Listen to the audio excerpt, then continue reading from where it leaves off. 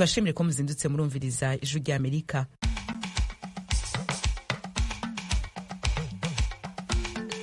radiyo ijwi rya amerika isamira na washington dc mu kirundi no mu kinyarwanda. Mwaramutse gute nshuti bakunzi bacu?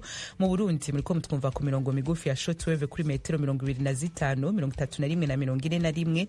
Mu rwanda tukaba kuri fm ijana na kane n'ibice bitatu i kigali na fm mirongo icenda na gatatu n'ibice bitatu i karongi. Ikaze makuru yo muri kino gitondo mwateguriwe mukaba mugiye gushikirizwa na joe diane ninahazwe. Muri repubulika ya demokarasi ya kongo irengero ry'abarenga amajana atatu na mirongo itanu bari mu bwato bw'i bibiriye ejo kuwa kane ahitwa kituku mu gisagara ca goma kiri mu ntara ya kivu ya ruguru ntiriramenyekana mu rwanda naho abanyagihugu baba mu bice bitandukanye vy'akarere ka kamonyi basaba ko inzego z'umutekano zirimo polisi n'igisirikare zibegera nta polisi nta musirikare umuyobozi w'akagari ntabwo yahosha ibi bintu byo muri ngamba n'uw'umurenge ntiyabihosha. Kereka uwaduha ingufu zituba hafi. Uwaduha ikigo cya gisirikare hafi aha cyangwa ikigo cya polisi. Twebwe twifuza yuko nk'inaha muri uyu murenge wa ngamba twagira inzego z'umutekano zituba hafi. Aba ni bamwe mu banyagihugu baba mu karere ka kamonyi mu rwanda. Aha muri amerika na yo mu makuru tubafitiye arimwo ay'abakozi bapakira bakanapakurura amato mu bivuko birenga mirongo itatu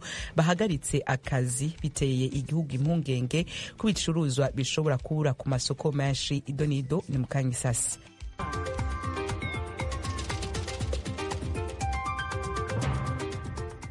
reka amakuru yacu tuyahere ku yagezweho hirya nino ku isi ayo uno munsi mwayateguriwe na mugenzi wacu thomas kamirindi.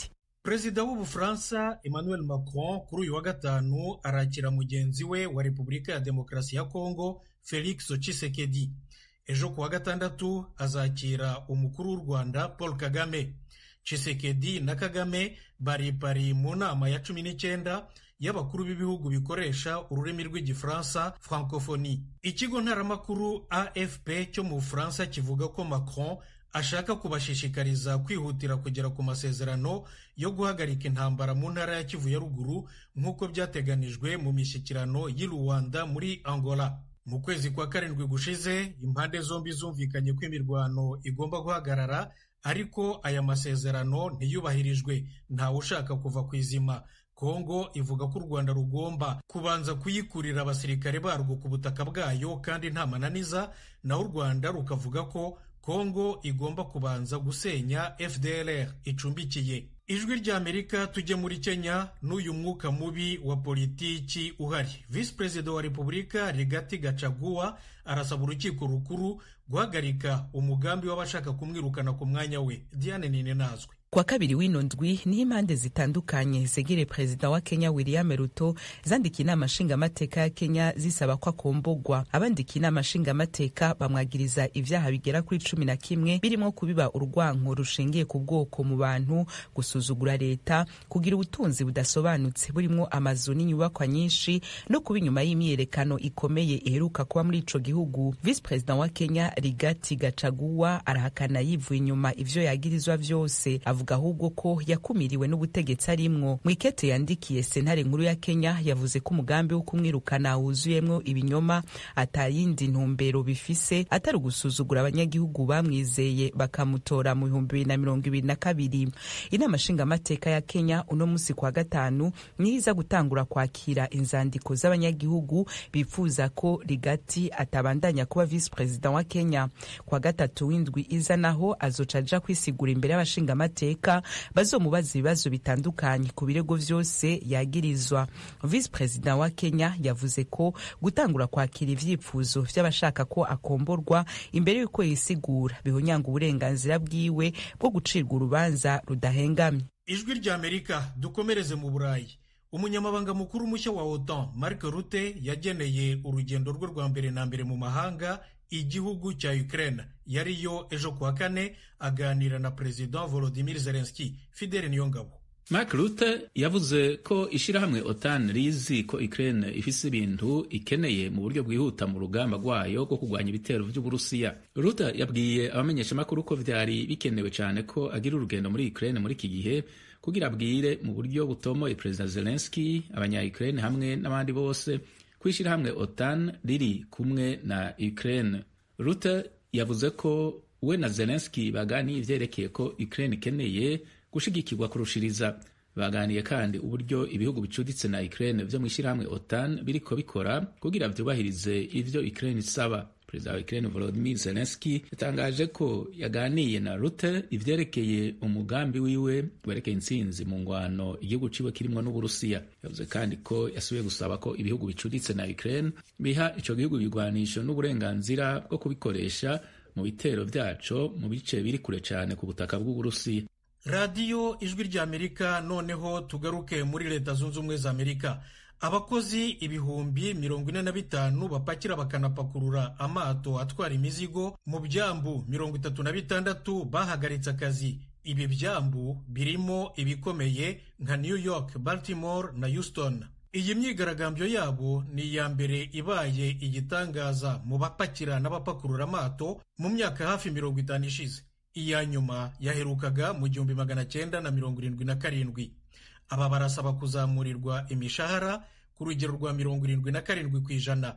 Naho abakoresha ni ukuvuga ba nyiri ibyambu bikorera ku giti cyabo bavuga ko badashobora kubarengereza mirongo itanu ku ijana. Perezida joe biden na guverinoma ye barimo barotsa igitutu aba bakoresha kugira ngo koko bazamure imishahara y'abakozi. Bafite impungenge ko imyigaragambyo idahagaze vuba ishobora kugira ingaruka zikomeye ku bukungu bw'igihugu.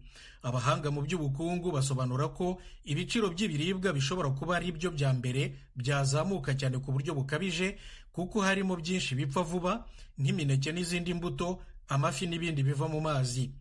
Nko ku birebana n'imineke n'ibitoki byonyine gusa ibyambu byahagaze byakira hafi toni miliyoni enye ku mwaka cyangwa mirongo irindwi na gatanu ku ijana byabyo abaturage b'igihugu cyose bakenera.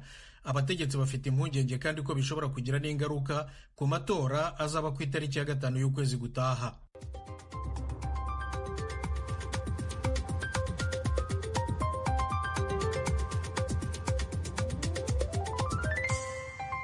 Thomas Kamirindi urakoze kuri amakuru yose waduteguriye ukaba uhejeje kudushikiriza ayo n'ayandi. Abakunzi b'ijwi rya Amerika bashobora kongera kuyumva kuri wezi itatu akaburungu radio yacu voa akaburungu com adresi ya youtube yacu instagram facebook na x ni voa radio yacu. Mu kanya ni mu karere k'ibiyaga binini vya afurika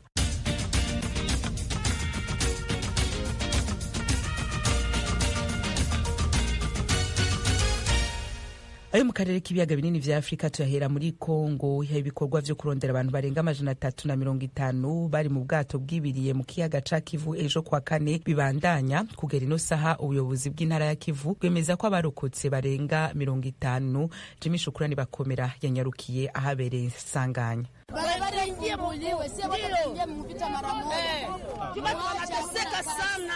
aha turi ni ahitwa kituku ahasanzwe hari icyambu ku kiyaga cya kivu ku ruhande rw'umujyi wa goma. Ni hafi y'ahamaze kubera impanuka y'ubwato bwavaga mu ntara ya kivu y'epfo. Ni ubwato buzwi ku izina rya merdi busanzwe bukorera ingendo zabwo buva mu mujyi wa goma bujya minova na bukavu mu ntara ya kivu y'epfo. Raporo y'agateganyo itangwa n'ikigo cya leta gishinzwe ubutabazi no kugoboka abari mu kaga imaze gutangazwa kuri ubu yemeza ko abamaze kuboneka bakiri bazima. Ari abantu mirongo itanu na babiri imirambo makumyabiri n'umunani ikaba ariyo imaze kugaragara iyo raporo yemeza ko muri abo mirongo itanu na babiri babonetse bakiri bazima cumi na batatu muri bo bamaze kwitaba imana. Ku bigo nderabuzima bitandukanye byo mu mujyi wa goma ibiro bishinzwe itumanaho bya guverineri w'intara ya kivu ya ruguru byemeza ko kugeza ubu abaje gutabara bakomeje gushakisha ko hari abo barokora. Abaturage bo mu mujyi wa goma bari baje kureba ibyabaye biganjemo abari bafite abavandimwe babo muri ubu bwato. Ikigo cya leta gishinzwe ubwikorezi bw'abantu n'ibintu mu nzira z'amazi ku ruhande rwa kivu ya ruguru cyemeza ko ubu bwato bwari butwaye abantu barenga magana ane. Madamu asifiwe kalegamire ni umwe mu bari bafite abantu muri ubwo bwato. Atubwiye ko muri bane bari baje kurema isoko mu mujyi wa goma atarabona n'umwe. Muri ubu bwato harimo baramukazi banjye babiri ndetse n'abanyamuryango babiri. Ni ukuvuga nari mfitemo abantu bane. Aba bose ubu ngubu nta n'umwe ndabona. Ni ibibazo bikomeye cyane ngewe n'umuryango wanjye leta ntidutabara abantu bikarehe turashize.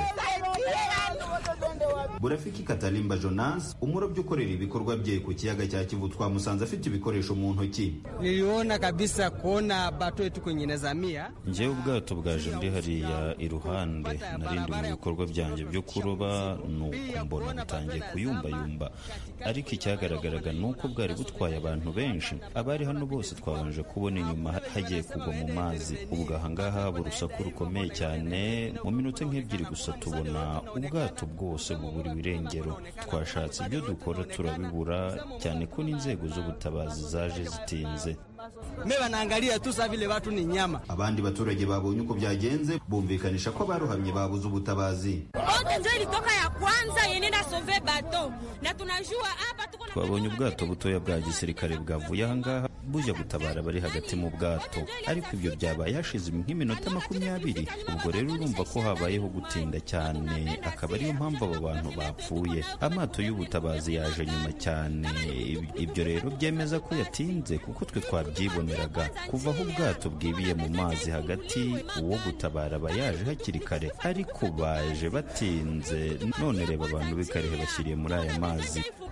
Bakusikivu kama tukufe hivi abasanzwe bakoresha inzira y'amazi mu buzima bwabo bwa buri munsi barashinja leta ya kongo kugira uruhare rukomeye cyane mu kwiyongera kw'imibare y'abapfa bazize impanuka z'ubwato. Impamvu aba batanga ni ukubera ko leta itarashobora gufungura inzira y'umuhanda uva goma ujya karehe muri kivu y'epfo ahabera imirwano. Impamvu y'ibi byose ni uko imihanda ifunze iyo aba bantu bose babashije kunyura mu muhanda hariya mu mujyi muto wa sake ntabwo ibi biba byabaye. Leta yacu igomba gukora ibishoboka kugira ngo uriya muhanda ufungurwe naho bitari nk'ibyo tuzashyirira mu mazi. Ikibazo gihari ni uko umuhanda udafunguzi ubwo rero ibyo bikabateza ingaruka zikomeye cyane. Niyo mpamvu dusaba ko uriya muhanda wafungurwa vuba na bwangu aho izi mpanuka zikomeje kuba nyinshi rero turibaza uko abantu tuzabaho. Eh.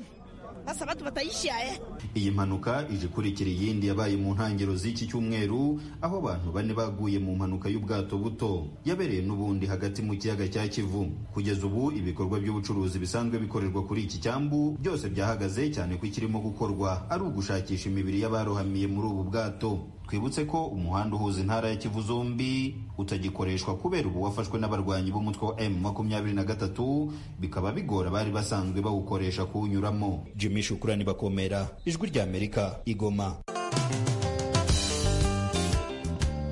Iyi ni radiyo ijwi ry'amerika yumvikanira i washington dc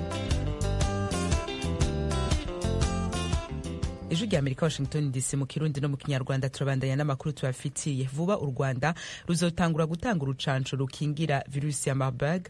Mu kiganiro cihariye umushikiranganje ajejwe amagara y'abantu mu rwanda yahaye ijwi rya amerika yavuze ko abantu ba mbere bazohabwa urwo rucanco rukiri mu igeragezwa. Ari abakorera mu gisata c'ubuvuzi ibindi n'umenyesha amakuru wacu asumta kaboyi.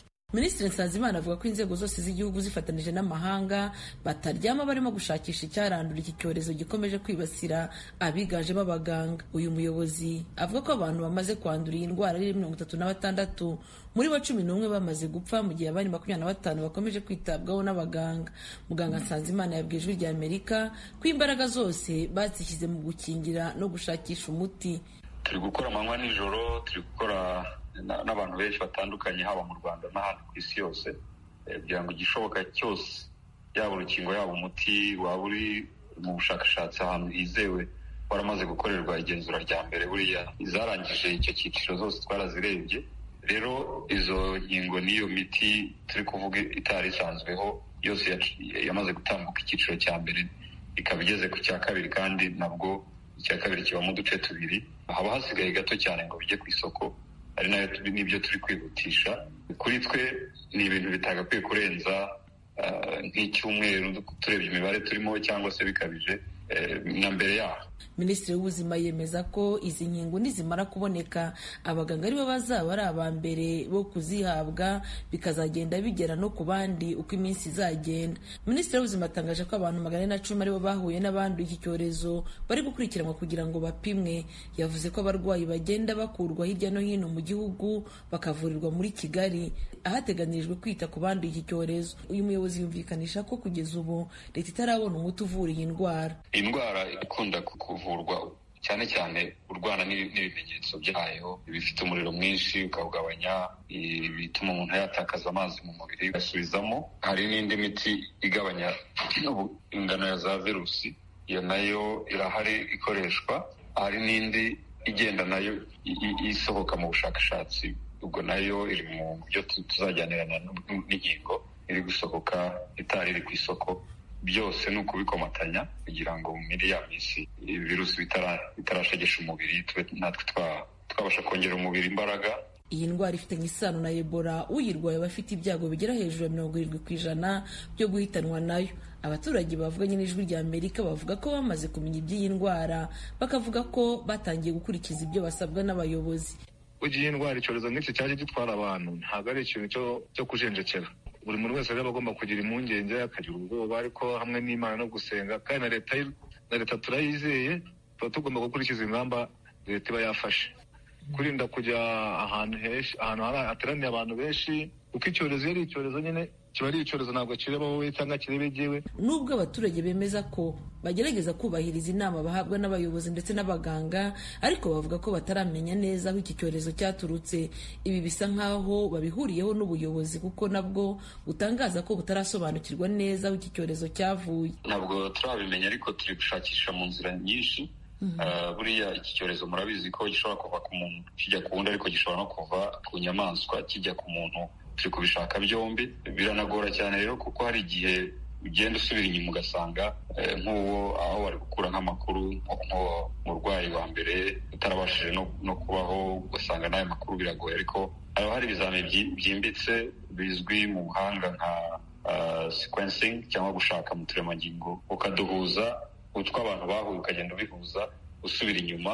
Ntabwo ari ibintu rero bikorwa mu minsi itandatu irindwi tumaze turi kugihagarika ni ibintu bizagenda bigaragara mu minsi iri imbere kugeza ubu imiryango ndetse n'ibihugu bikomeje gutangaza ko byiteguye gufasha u rwanda mu guhangana n'iki cyorezo.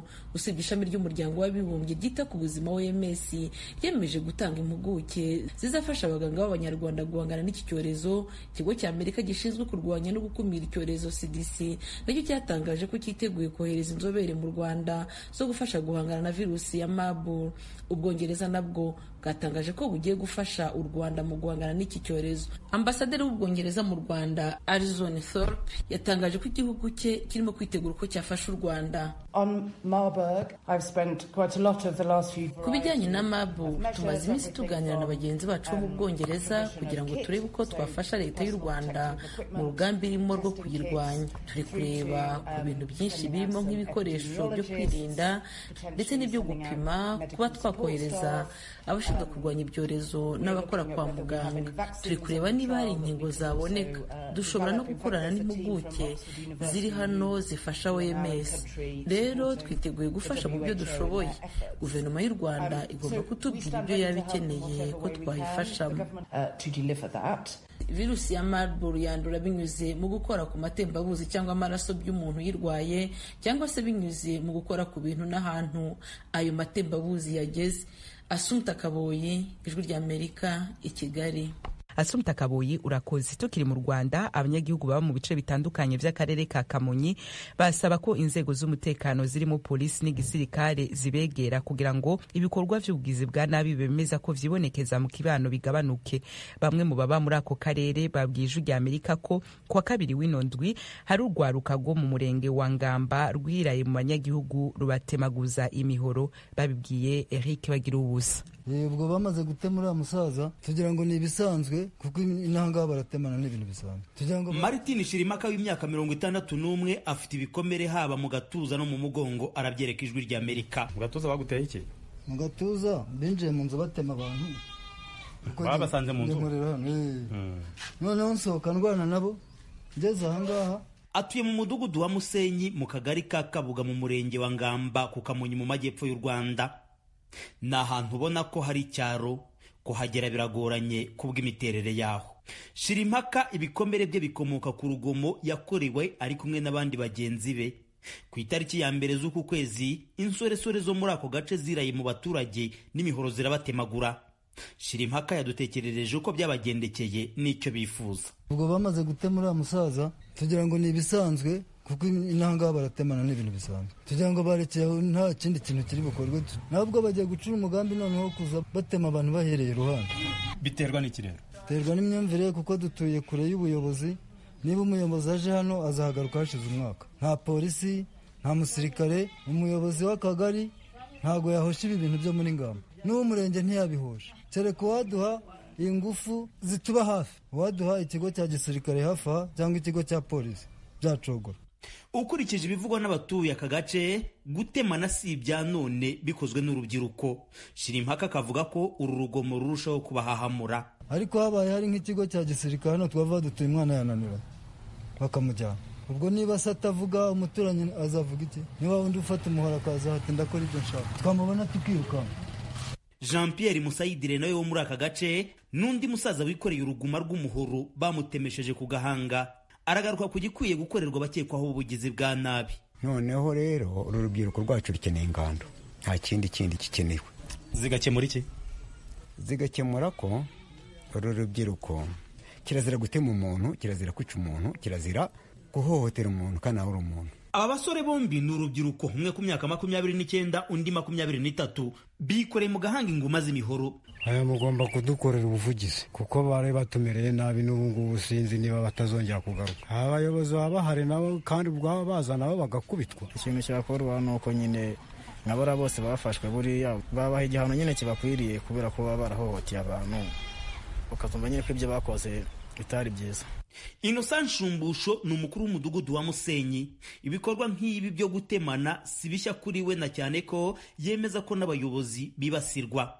Iyo bateguye igitendo nk'icyo twebwe abayobozi nitwe baba bashaka cyane cyane. Kuko buri kabari kose bakagezemo. Ariko baburamo nk'umuyobozi bagahita batema uwo babonye uwo ari we wese. Rero bahaye igitifu ko ku muhanda hari umutekano mukeya aza kureba uko ibibazo bimeze nk'umuyobozi w'akagari akihagera bahise bamwanjama nyine bahita bamwirukankana nawe urabyumva. Ndumva bari bagiye no kumutema bashaka gukuraho ijosi. Umukuru w'umudugudu wa musenyi yabwiye ijwi ry'amerika ku bindi bikorwa byaherukaga kwibasira abandi baturage muri aka gace.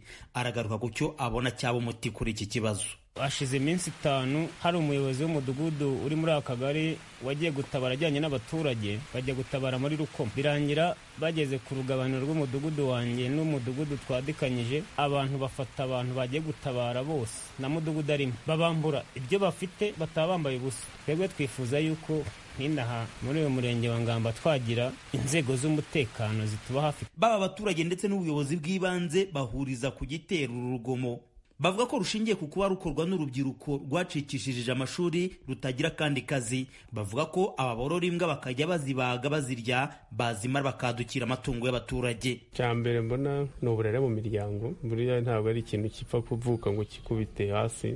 Uburere mu miryango bugomba kwiyongera. Tujya tubiganira cyane mu mugoroba w'imiryango cyangwa se mu nteko z'abaturage tugaragaza ko abantu bahungabanya umutekano bakiri batoya kandi bidakwiriye. Uwo ni bwana epimake munyakazi umunyamabanga nshingwabikorwa w'umurenge wa ngamba agaruka ku cyo afata nk'ipfundo ry'ikibazo. Ku ngingo yo kubegereza inzego z'umutekano munyakazi yagize ati ubundi umutekano ntabwo twavuga ko ushinzwe inzego z'umutekano. Ubundi umuntu wese ashinzwe umutekano. Ahubwo icyo twebwe nk'ubuyobozi dusaba ni uko ibyo dufite mu bushobozi bwacu bigendanye n'irondo no gutabarana turashaka uburyo tubyubaka byo ubwabyo bikomere. Uruhande polisi y'u rwanda ihagazeho mu guhosha ibikorwa by'urugomo rwo ruratomoye acp boniface rutikanga avugira polisi y'u rwanda. Reka mbabwire ntabwo polisi yabuze imbaraga zo guhangana n'aba bantu kandi aho kugira ngo umuntu umwe abuze umudendezo n'umutekano w'abanyarwanda. Twakoresha imbaraga zose dufite kugira ngo uwo muntu abashe kuva muri sosiyete abangamira. Ku itariki ya mbere z'uku kwezi ni bwo urubyiruko rwo mu mudugudu wa musenyi ingamba ku kamonyi rwiraye mu baturage n'imihoro ruratemagura ubuyobozi mu nzego z'ibanze bubarura abagera kuri cumi na batatu batemwe. Umwe muri bo watemwe cyane ari kuvurirwa mu bitaro bya remera rukoma. Ni mu gihe umwe muri batanu baketsweho ibyo bikorwa by'ubugizi bwa nabi yishwe arashwe na polisi y'u rwanda. Yatangaje ko uwo yazize kurwanya inzego z'umutekano mu mukwabo zarimo zihiga bukwara abakekwaho urwo rugomo. Umwe muri abo bahigwaga yarakomeretse abandi batatu batawe muri yombi. Polisi igatanga umuburo ku washaka guhirahira wese yishora mu bikorwa by'ubugizi bwa nabi. Eh bagira ijwi ry'amerika ku kamonyi mu majyepfo y'u rwanda. Ijwi rya amerika turacabandanya n'amakuru tubafitiye. Hasigaye iminsi mirongo itatu n'umwe abanyamerika bakwije ibisabwa n'amategeko bagatora perezida wabo wa mirongo ine n'indwi muri ano matora. Visi perezida kamala harris azoba ahagarariye umugambwe w'abademokrate donald trump nawe yahoze ari perezida wa amerika azoba ahagarariye abarepublika. Imbere y'uko kamala harris atorwa nk'umukandida wa demokrate ibipimo vyerekana ko hafi kimwe ca kabiri c'abatora bose batari bishimiye abakandida perezida joe biden na donald trump. Mu kwa kane kuno mwaka umumenyeshamakuru w'ijwi rya amerika jeff swicold yagendeye umwe mu birabure bakomoka muri amerika amubwira ko atazotora kubera atari yishimiye abakandida b'ico gihe.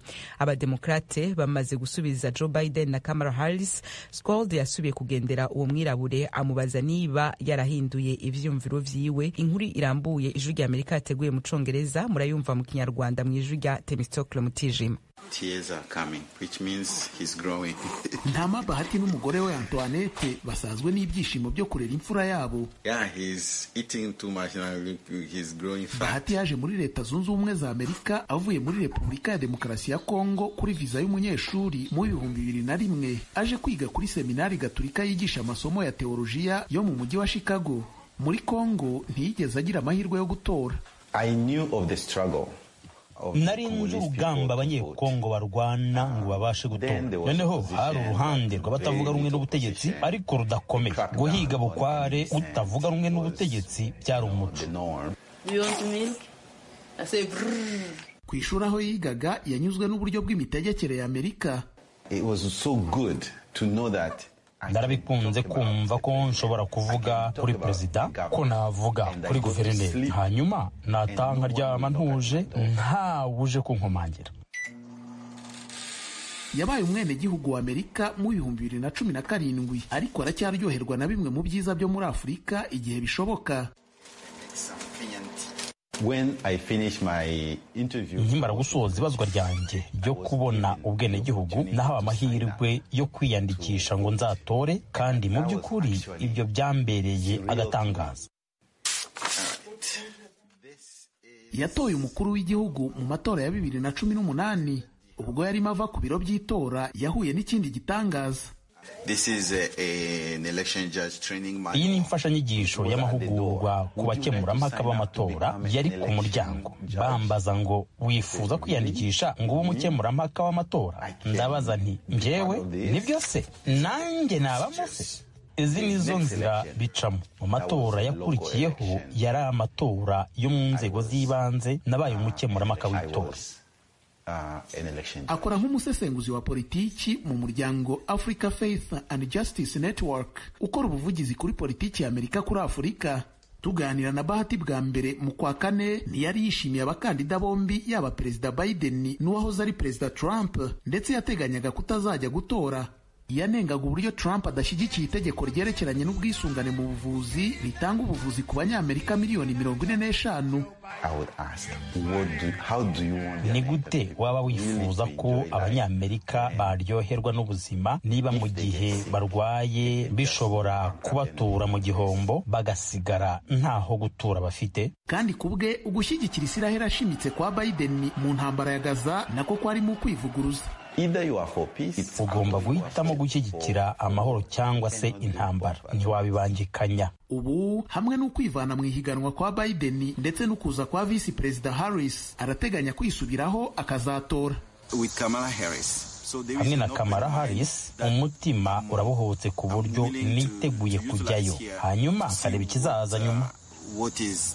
avuga ko ikigomba kuva kuri harris ari ukurushaho kwemera urugamba rwa palestina ntiyishimiye ko uhirimbanira uburenganzira bw'abanyapalestina yangiwe gufata ijambo mu nama rukokoma y'ishyaka ry'abademokarate bariya abaturage b'ibihugu byombi bakwiye kubana ni byo. Aho ni ho tugana. ni cyo cyerekezo cya politiki nshya. rero abademokarate bakwiye nabo gutanga urubuga ku bahagarariye igitekerezo cyacu kuri iyi ngingo.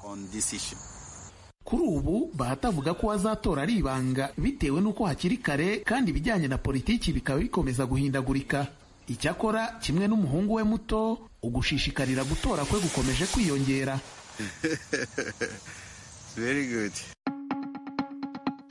ijwi rya amerika no ngaha duce dusozera amakuru yacu ya kino gitondo? Kuri mikro mwari kumwe na diane ninahazwe. Nadia tahaye ari muhinga bw'ivyuma. Ku izina rya bagenzi bacu tubikibanuye tubifuriza kubandanya mururanirwa mu vyo murimo vyose. Anje tuzosubira ejo mu makuru yo ku mugoroba.